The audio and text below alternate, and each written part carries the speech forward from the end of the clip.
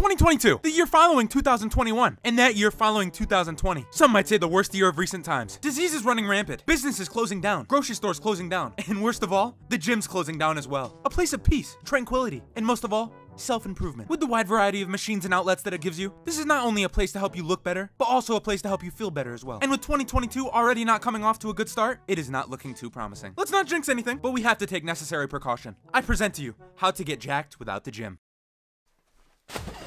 If you guys are trying to put that work in at home, you need to be well equipped. And as a lot of you guys know, the majority of your results don't come from training. They come from how you eat. But Baxter, what are some things that I can eat? I'm glad you asked that, Jimmy.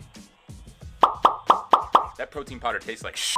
Without protein, your body has no way to build or maintain muscle. Now would kind of go against what we're trying to do. These are some of my main sources of protein. Egg whites, lean meats, Greek yogurt, protein powder, protein bars, there you go. You can't go wrong. I have lean ground beef right here. You can do chicken. You can do you, you can do tilapia. You can do shrimp. Whatever floats your boat. I recommend trying to get at least your body weight in grams of protein. That'll vary from person to person, but that's a good guideline. But obviously, you shouldn't only be eating protein. Let me let me let me.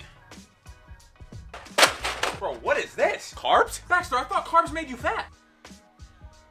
Put it simply, carbs are your energy source. If you cut carbs, especially if you're trying to work out, you're gonna feel like shit, perform like shit, yeah, shit. Potatoes, rice, pasta, those are all some solid carbs, but the last piece of the puzzle. Whoa! A green nutsack. Your healthy fats. Any well-balanced diet, you need your healthy fats in there. Avocados, nuts, I love nuts, eggs, the list goes on. Incorporate them in there, they'll have you feeling good and balance out your diet.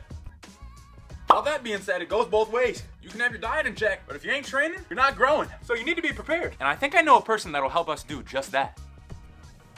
Woo! It's Mama Bax. It's Mama Bax. It's Mama Bax. She's actually a five-time uh, Mr. Olympia. Mister. So she knows how to work out. So she's gonna teach us how to work out, but we gotta make a pit stop first. We're going to Chipotle. We at Chipotle. We're gonna go in, get a little bite to eat. Yummy. This is a little convenient way to get your protein in if you're lacking for the day. And if you're out and about, you can throw some veggies in there, get some nutrients. But yeah, we're gonna go fuel, and we'll catch you at the house.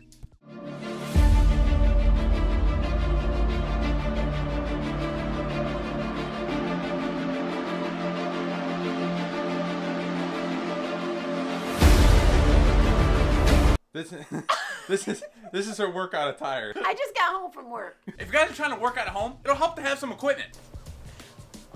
This is a breathing exercise I learned. Exhale. What are you doing? I do you say? Come on.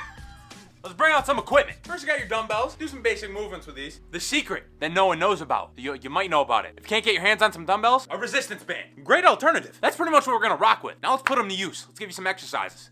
So basically what we're gonna do is run down some workouts you can do with dumbbells or resistance bands for every single muscle group. These definitely aren't your only options, but I'm just giving you some ideas. Starting with the shoulder. Moving into the shoulder press. Very basic movement can be done with not only dumbbells, but resistance bands. Moving on to our lateral raises. With my mom's immaculate form, you guys should know how to do these. And finishing off with rear delt flies for the rear delt. Now moving on to the tricep. Starting off with tricep extensions. Once again, you can also do them with a resistance band. This is creativity at its finest. DIY bench. Skull crushers are a great one as well. Now moving on to the bicep. Your basic bicep curls. Once again, you can do them with dumbbells or with resistance bands. And then finishing it off with a hammer curl. And there are biceps done and dusted. Moving on to the chest. the only thing we did was bench press, but there are other options. You can do push-ups, you can do incline push-ups, decline push-ups, incline bench press if you have an incline. You have your options. Now moving on to the back. A lot of rows. Once again, we were limited, but one of my favorites is one-arm dumbbell rows. If you have a pull-up bar, that's another great option for the back and biceps, and you can put the work in there. Now to the worst part, the legs. At first we got our squats. You can do these with a weighted backpack to make them a little bit easier so you don't have to hold dumbbells. We're trying to do RDLs, and my look what my mom can do. what is this? What is that flexibility? She's like 80 years old.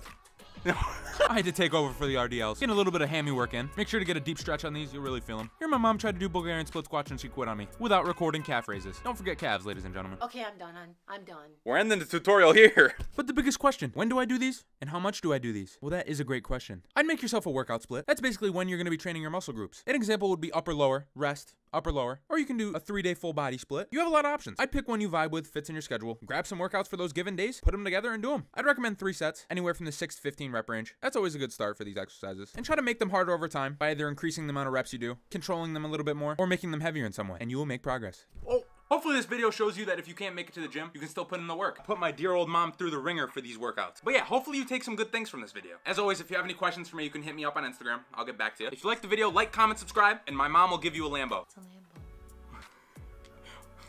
We'll catch you in the next one.